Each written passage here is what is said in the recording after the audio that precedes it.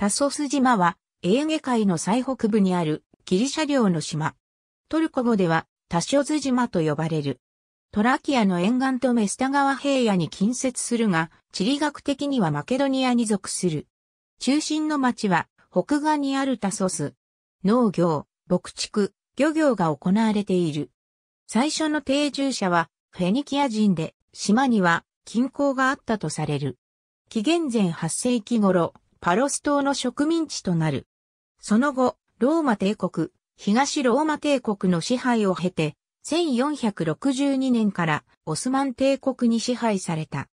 1820年代、当時のスルタンマフムト2世からエジプト支配者、ムハンマド・アリーへ、ギリシャ独立戦争の際に、エジプトが干渉を行ったことに対する褒美として、私的な報道として与えられた。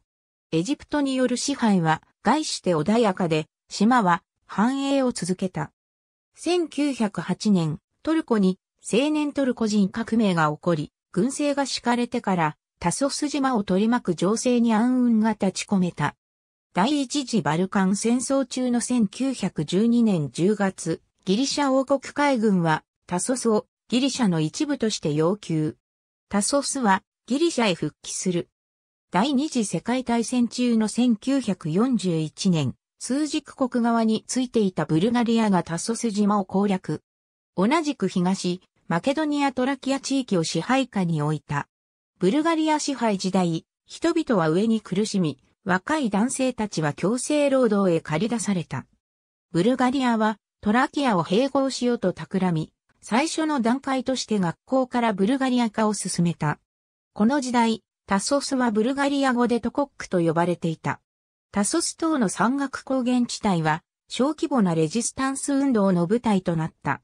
戦後、ギリシャ内戦では共産ゲリラによって1950年まで攻撃された。タソス県は東マケドニアトラキア地方を構成する行政区の一つ。カリクラティス改革に伴い広域自治体であったカバラ県の県域から分割されて設置された。タソス県はタソス市一市のみからなる。タソス市は東マケドニアトラキア地方タソス県に属する基礎自治体である。タソス島全体をその地域とする。かつてはカバラ県に属していたが、カリクラティス改革に際して分割されたタソス県に属している。カリクラティス改革では大規模な自治体統廃合が行われたが、タソス市は他の自治体との合併は行っていない。タソス市は以下のキノテタから構成される。表中のデルタ。